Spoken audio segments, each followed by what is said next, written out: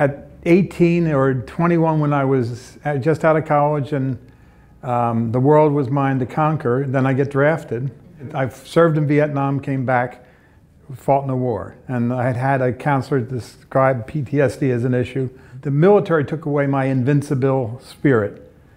And it, it was gone because you're expendable. You're, you're only body count when you're in the military. So that began it, the process coming back from Vietnam when everybody despised what I had done, though I hadn't done anything except you know, stand up for my country. And that became more difficult. And then other factors in my life, industries that I work within and other things, traumatized me.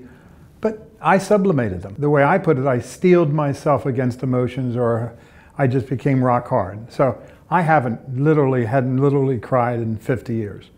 And the Dr. Joe experience has opened a window to my emotions, which is just remarkable.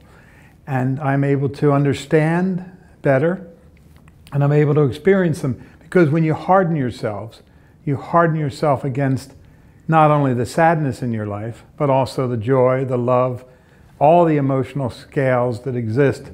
You just don't want to be involved. So I basically was out of that part of my life. The other consequence of my life is I was born and raised a Catholic. So I was born a sinner. And that was very difficult to overcome. So when I began with Dr. Joe and he introduced the concept of the unified field, I, when I achieved that, was able to go back into my life and beyond, since there's no time or space, I went back to the cross and I had a prayer that um, uh, water of Christ's side wets out my stain. So he allowed me to go back in through the quantum field to the cross, and the, uh, I, I was underneath the cross, and the water came down, and it cleansed me of all that burden I had for all those years. And that's when it began. And I opened my heart and my mind to the potential of what could happen. And just, that was one burden. Uh, there were other burdens that existed for me. Life sometimes takes away your innocence and it takes away your integrity. And it, you, when I lost that, I lost who I was. And then I've been wandering throughout my whole existence without emotion, without the sense of any self worth, because I was lost in this horrible world of my own creation. Because you're just, we create it for ourselves, though other people may sometimes manipulate it. We're the creator, we are the participant, we are the acknowledger of what happened. I moved from uh, Texas to Arizona in June on the 25th. On July 1st, I went to a um, counselor to try to identify some of the issues. And she said, there's codependency involved. So I read the books and I studied this. I do things intellectually. So I figure if I know all this, then I'm able to um, get well quicker. And then she said, no, you're a codependent the rest of your life. So to me, that was a death sentence to say I'm going to be a codependent forever. So I came to this conference and I sat down with uh, Jace and I said, Jace, I have a dilemma. I am finding healing. I'm finding a change and a transformation and transition in who I was. And, but however, when I go back to my environment, they're expecting a codependent to come back who has to acknowledge that codependency every day of the rest of their life. And he says, You got to change. You got to do something different. So the morning meditation yesterday did not benefit me. The guy beside me, who's a soccer player from Holland, and I, you know, we both were trying hard, but we just couldn't get there.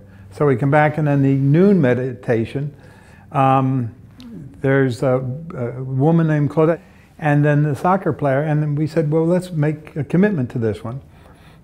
And I did. And I was able to achieve a, a release of everything in the sense that it builds up, it's been a burden to me forever, and I was never willing to do it. But because I had the, the strength and energy of youth on one side of me, and I didn't realize it was happening this way. And the greatness of love on the other side, someone who just met, who cared for me so much, that I was able to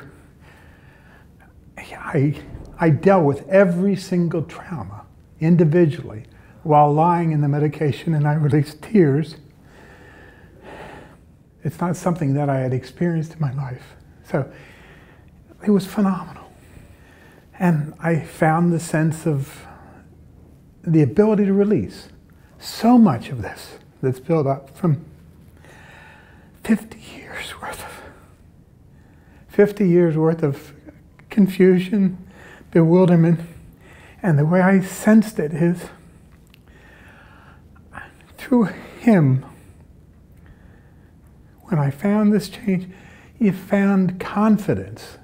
Didn't matter what my next decision was. I found the confidence within myself that it was going to happen. I found again my innocence because it was a new life. I found my integrity and I found my commitment to a future that was going to be better.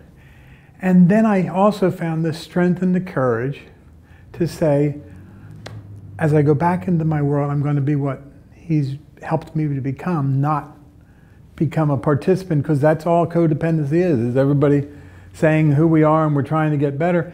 I'm, get, I'm better. And that's the remarkable thing.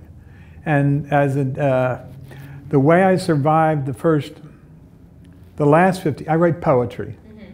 And my emotions, I couldn't cry or laugh or do anything. I write a poem for a person. So I write poems for, my mother died, my father died, my sister would die. I didn't have tears, I had a poem. And I shared that with a family, and everybody was appreciative. And, but it's better to cry. And, and I just didn't have that within the sense of me. But now I do.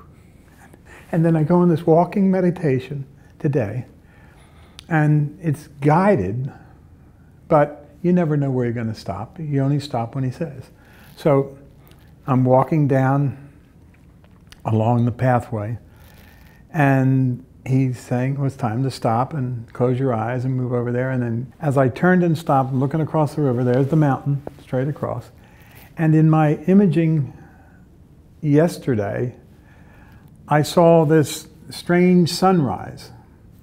And it turned out that the sunrise, where he stopped me, was behind a bridge and a reflection off a building, and it was only there for this instant.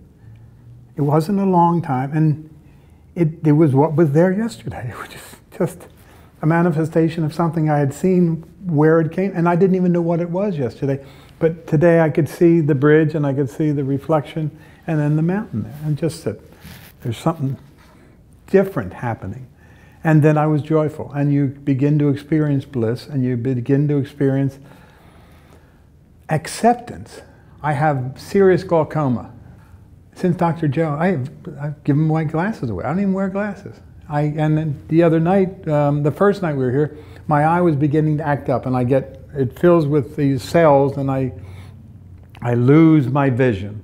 And in some instances, my eye fills with blood. It's called glaucoma hyphema, and I can't see at all, and I have to go hours or days before I can see again. Well, on Monday, the pressure released. I didn't have a problem anymore. Just, I said, I'm just going to go with the flow. I'm not going to worry about it. And these are things that happened instantaneously.